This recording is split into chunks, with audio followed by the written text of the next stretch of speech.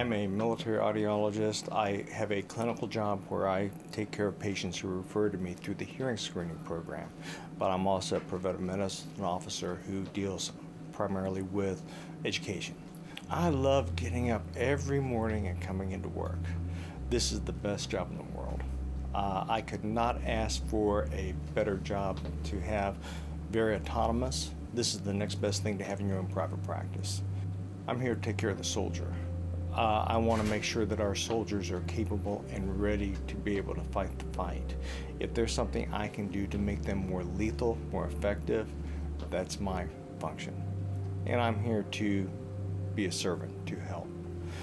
We do a tremendous amount of hearing aid care here. And I enjoy hearing aids, but if I could keep soldiers from having to wear hearing aids, that would be even more wonderful. In my role, I work on like the trucks and the Humvees and things. So with my hearing, I, I really need to hear because half the time rules change. We get new new equipment almost every week. So if we don't know what we're working on or if we can't hear what we're working on, it can damage us, death. It can damage the equipment for someone else that's working on it. So my role is really making sure that we're safe and the people that are going to ride in the vehicles are safe. Education is the key. Again, if I do not educate our soldiers why we're doing it, that they understand the importance, and that they need to wear their hearing protection properly, it's all for naught. If I had to choose tomorrow between testing soldiers' hearing annually and education, well, we would put doing the hearing testing. We do the hearing testing because it's a measurable metric. Okay, we can see that. And plus, it is tied into medical readiness. But education.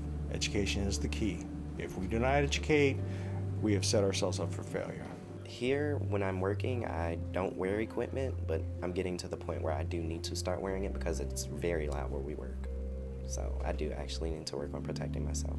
The two number one concerns for the VA system at this point is not PTSD and TBI. It is tinnitus, which is a symptom that very much related to hearing loss. And those are the two main things that the VA is working with right now for our veterans. Um, our big thing is I am a preventive medicine officer. So my job is to prevent, not to rehabilitate. Although we spend a significant amount of time working with hearing aids with our soldiers. But for prevention, our primary goal is education. I can watch your hearing get worse every year.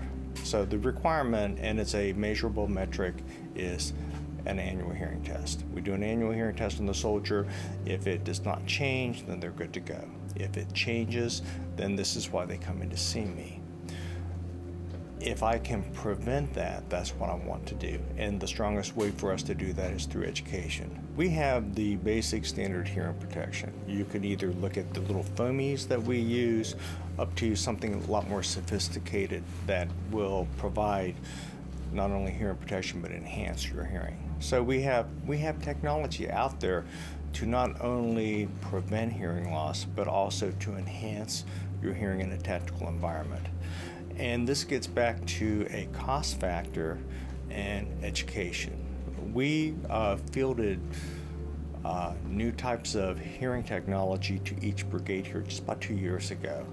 Each of these units cost approximately $2,000 and it takes buy-in because a lot of times when you're dealing with technology um, a lot of older people don't want to buy into technology because it's a change so i really try to target a lot of the younger infantry soldiers whenever they come through to demonstrate the technology to them and try to get them to uh, embrace it if I had to choose between having normal hearing and wearing these two hearing aids, well, of course, I would definitely choose the normal hearing.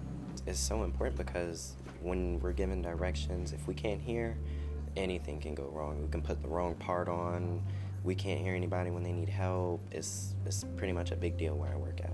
So I always stress to the importance of the soldiers of the educational process and the training involved until it's memorization. Once you have it ingrained into your brain, you do not think about it. The other thing is, one size does not fit all. I usually ask soldiers what size of boot do they wear. So if they wear a size 9 boot, that's great. So how about if we go to CIF tomorrow, everybody gets issued new boots, and we'll issue size 9 boot. You're in good shape. But what about the guy who wears a 10 and a half? What about the person who wears a 7? You cannot just hand this stuff out to soldiers and expect it to fit properly. This is why they have different sizes. And again, it is a continual education process. Right? We do training for soldiers at the unit level. They come to my training class and they take this information back to the unit. And they are expected to be the hearing program officer. And one of their duties is to make sure that every soldier gets an annual educational brief. All they have to do is fill out an application form and show up to my class. And we have these classes every other week over at the Kennard Center. Feel good is taking care of patients here, taking care of the soldiers, uh, meeting their needs. Their needs can be met by just completing the hearing evaluation, their needs can be met by covering the types of hearing protection they should be using, their needs can be met by seeing their faces light up whenever I fit them with hearing aids for the first time and they have been struggling to be able to communicate effectively. So it's a very, very rewarding, very rewarding job.